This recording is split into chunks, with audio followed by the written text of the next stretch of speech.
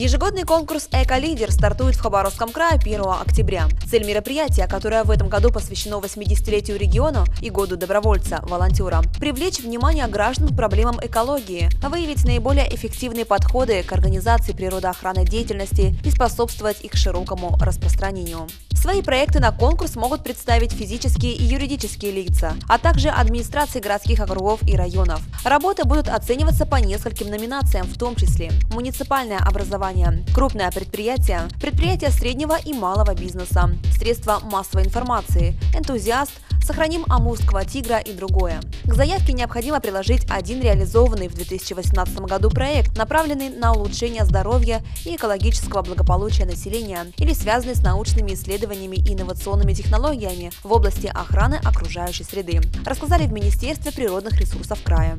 Победители определят в каждой номинации. Дополнительную информацию можно уточнить по телефонам 8 код города 4212 47 39 26 47 39 25.